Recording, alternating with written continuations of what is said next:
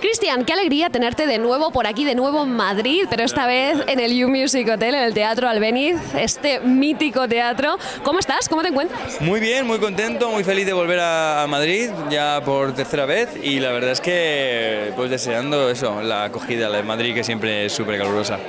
Oye, ¿cómo estás viviendo esta revolución que está siendo Ghost? Yo no sé si al principio de todo eh, esperabas esta acogida por parte del público que está teniendo en todas las ciudades de España, además. Sí, la verdad es que estamos llenado, hemos llenado en todas las ciudades a las que hemos ido y es sorprendente, pero pero por otra parte es que la historia es tan bonita y, el, y, cómo está hecho el musical.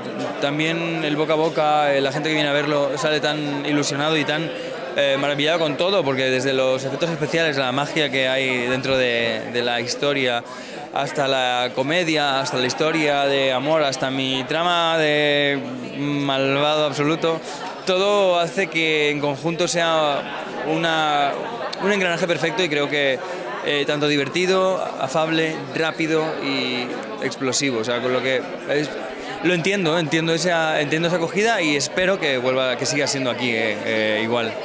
Oye, ha pasado ya algún tiempo, algunos añitos, pero ¿tú recuerdas cuando audicionaste esa llamada para decirte, ¿estás dentro? Sí, sí lo recuerdo, lo recuerdo porque además fue como largo el proceso de selección.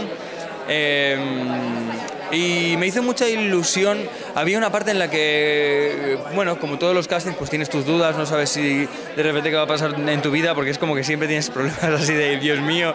Eh, y yo tenía muchas ganas de Ghost. Eh, había eh, visto la producción de Broadway y me parecía preciosa, con lo que dije, quiero estar ahí.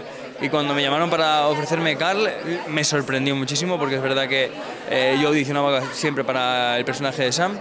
Eh, con lo que bueno, me dieron esa parte de alternancia con Sam y, Carl, pero la verdad es que ahora, a día de hoy, después de tanto tiempo, estoy súper agradecido del personaje de Carl porque me, da, me ha dado muchas alegrías ese súper personaje, como estábamos diciendo, pero después de tanto tiempo, ¿qué es lo que te llevas tú del personaje? Todavía hay larga vida Ghost, como te digo, pero al final lleváis ya bastante tiempo, son muchas funciones, el otro día 600 celebrabais aquí en Madrid. ¿Qué es lo que te estás llevando tú de este personaje después de haber hecho muchos otros en tu carrera? De este personaje me llevo la fortaleza, porque al final es una ambición que para tener ambición hay que ser muy fuerte y, estar muy persistente, con lo que me llevo esa persistencia de, de él.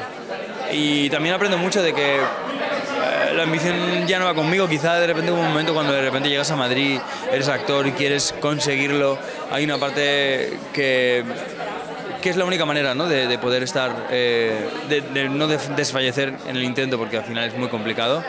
Y, pero ya esa ambición pasó un poco de largo y, y estoy tan tranquilo, estoy tan contento y tan feliz en mi vida que, que estoy súper agradecido a Carl por también darme ese, servirme de ese espejo tan bonito.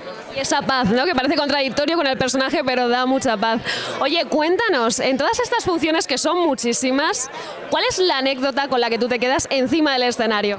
Wow, pues mira, ya me lo han preguntado y es que no se me ocurre a mí decir una, una anécdota como que sea lejos de, las que yo vivo, que al final son mil, y de eh, lo que vivo con mis compañeros y lo que me río cuando uno se puede reír, porque también es verdad que hay veces que estás en tremendo drama y, pasa algo en lo que no puedes, ¿sabes? Tienes que, evitarlo, ¿no? Pero más que eso, mi anécdota personal es el día a día, son los camerinos, es los compañeros. Te juro que me llevo una una compañía con la que me repetiría 10 giras más y eso no pasa siempre, o sea, es muy complicado encontrar una, una, compañía tan afable, así que son ellos los que me llevo. Nos quedamos con eso, por esta compañía y por muchísimos años más. Muchísimas gracias, Cristian. muchas gracias. Que vaya genial. no tengo que hacer tanto esfuerzo de ningún ¿eh?